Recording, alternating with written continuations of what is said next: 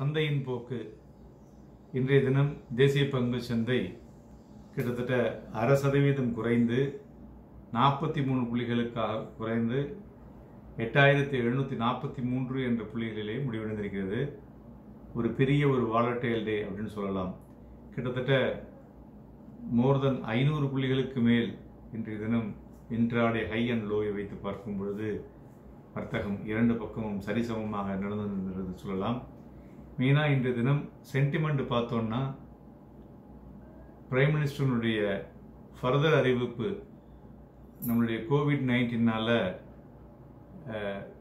நம் கர்ஃப்யூ வந்து ஃபர்தராக இன்னொரு ஒரு பதினஞ்சு நாளைக்கு எக்ஸ்டெண்ட் பண்ணக்கூடிய வாய்ப்புகள் அதிகமாக தெரிகிறது. மேலும் ஐரோப்பிய மார்க்கெட்டிலும் நிறைய பிரச்சனைகள் இருப்பதனால் அங்கும் வீழ்ச்சி அதனுடைய வீழ்ச்சியின் தாக்கம் நமது சந்தைகளில் வந்து செகண்ட் ஹாஃபில் வந்து மார்க்கெட் விழுந்ததுன்னு சொல்லலாம். அதுபோல் இந்திய ரூபாயினுடைய மதிப்பு இன்று அதிகரித்து உச்சத்தை தொட்டிருக்கிறது. எழுபத்தாறு புள்ளி மூணு ஆறு என்று. இது வந்து இந்திய ரூபாய்க்கு ஒரு வீக்னஸை கொடுத்துருக்குன்னு சொல்லலாம். இதனால் இன்டைரக்டாக பெனிஃபிட் ஆகக்கூடிய செக்டார்னு பார்க்கும் பொழுது ஃபார்மாசூட்டிக்கல் மற்றும் டெக்னாலஜி செக்டார் இது ரெண்டும் வந்து பெனிஃபிட் ஆகுதுன்னு சொல்லலாம். ஸோ இந்த இன்ட்ராடே வாலட்டிலிட்டி அந்த ஐநூறு புள்ளிகள் அதாவது ஆறு சதவீதம் இன்னைக்கு ஹை வந்து nine thousand one thirty two low வந்து எட்டாயிரத்தி அறநூற்றி ஐம்பத்தி நாலு. ஷார்ட் கவரிங்கில் மாதிரியான ஒரு மூமெண்ட் இன்னைக்கு கொடுத்ததுன்னு சொல்லலாம் மார்க்கெட்டை மெயினாக இன்றைக்கி ஆயிரத்தி பத்து பங்குகள் அதிகரித்தும் ஐநூற்றி பதினேழு பங்குகள் குறைவடைந்தும் காணப்படுகிறது. அதுபோல் இன்றைய தினம் ஃபார்மா ஆட்டோமொபைல் மீடியா இந்த மூன்று துறைகள் வந்து அதிகரித்திருக்கிறது. மெட்டல் அதிகரித்தது க்ளோசிங்கில் பார்த்தோன்னா ஒரு ப்ராஃபிட் டேக்கிங்னு சொல்லலாம்.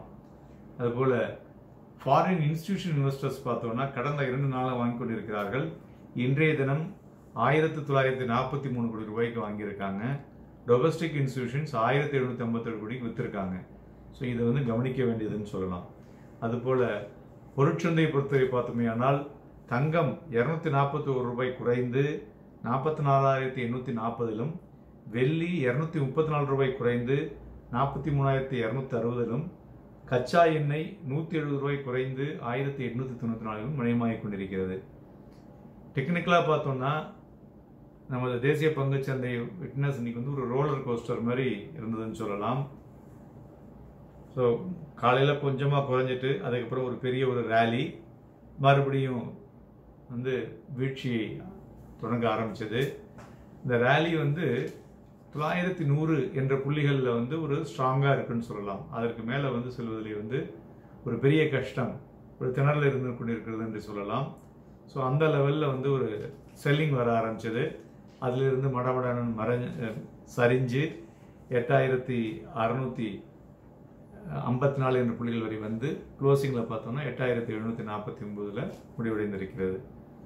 ஸோ இது மெயினாக வந்து இந்த பேட்டர்ன் பார்த்தோம்னாக்க இது வந்து ஷூட்டிங் ஸ்டார் பேட்டர்னான டெய்லி ஸ்கேல்னு சொல்லுவோம். அதாவது என்னன்னாக்க இது வந்து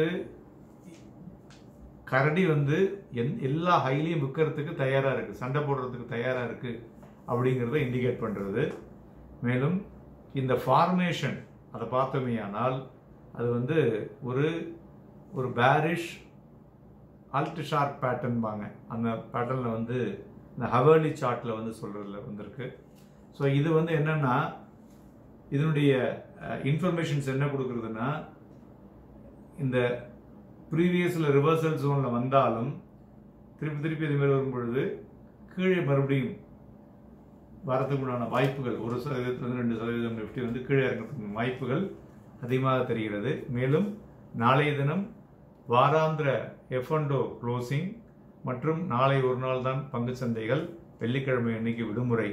ஸோ அதனால் மார்க்கெட்டில் வந்து நிறைய விஷயங்கள் திணிக்கப்படுவதனால் சந்தைகளுடைய அதனால் வீக்லி அதாவது லாங் வீக்கெண்டாக இருக்கிறதுனால ப்ராஃபிட் டேக்கிங் அதிகமாக வரும் என்று எதிர்பார்க்கலாம்.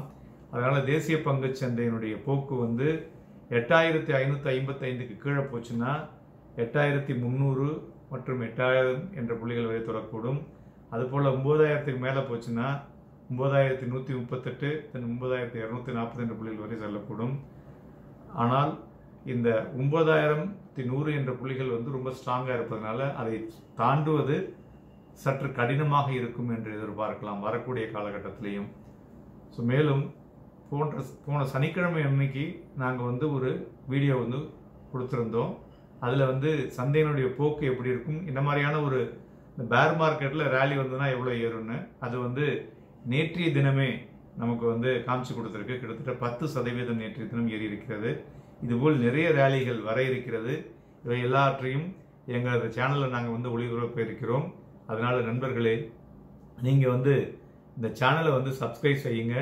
மற்றும் உங்களுடைய நண்பர்களுக்கு வந்து இதை ஷேர் பண்ணுங்கள் ஹாப்பி ட்ரேடிங்.